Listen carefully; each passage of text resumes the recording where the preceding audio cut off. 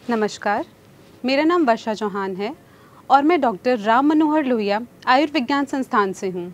और आज मैं आप सभी को कफ एटिकेट्स के बारे में बताऊँगी।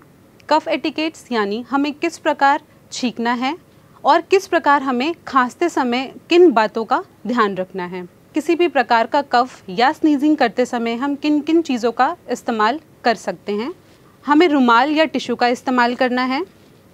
ज़्यादा अगर हमें खांसी या कफ आ रहा है तो हम मास्क का इस्तेमाल भी कर सकते हैं। अगर हमारे पास मास्क अवेलेबल नहीं है या हमारे पास रुमाल या टिश्यू पेपर नहीं है और हम पब्लिक पर हैं तो उस केस में हम हमारी बाजू का या एल्बो का इस्तेमाल कर सकते हैं। हमें अपने मुँह को कुछ इस प्रकार कवर करना है, जिससे कि हमारी नाक और हमारा मुँह दोनों ही ढका हुआ हो और हमारे मुँह से निकलने वाले जो भी ड्रॉपलेट्स हैं, जो भी कीटाणु हैं, वह सब हमारी बाजू तक ही रहें, वह और लोगों को संक्रमित ना करें।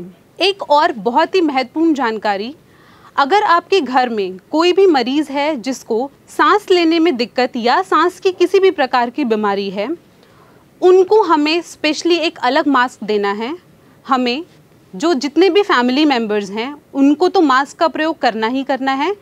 बहुत ज़रूरी है बहुत महत्वपूर्ण है कि अगर जो मरीज़ है हमारा हमारे घर में हम उसको मास्क दें जिससे कि पेशेंट भी बचे रहें और जो हमारे घर परिवार के लोग हैं या जो हमारे आसपास के लोग हैं वह भी संक्रमण से बचे रहें। सो so, इस प्रकार हमें कफ एटिकेट्स करने हैं और कफ एटिकेट्स का ध्यान रखना है। मैं आशा करती हूँ कि आप सभी को कफ एटिकेट्स के बारे में समझ में आया होगा और आप सब पब्लिक प्लेसेस पे अपने घर में कफ एटिकेट्स का प्रयोग करेंगे। धन्यवाद।